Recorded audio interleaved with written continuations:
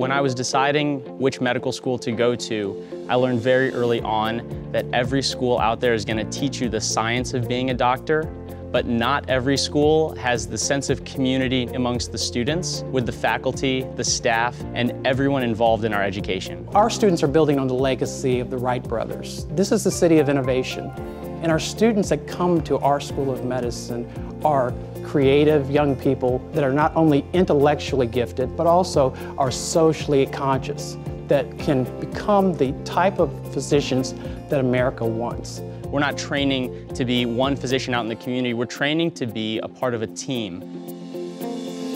It's very important to us that we get involved in medical research, and that's available to you here.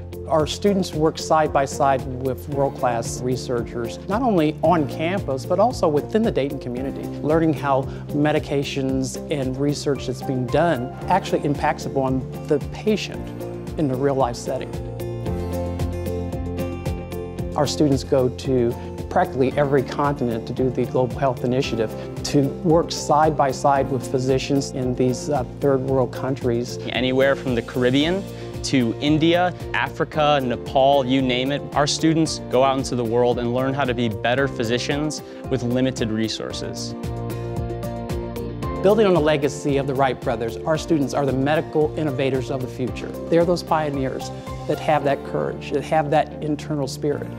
Every student, all these socially conscious, very talented students, can be that next innovator that will teach the world the next big thing about medicine. These are the type of individuals that we recruit to our school. We take good students and we make them great physicians.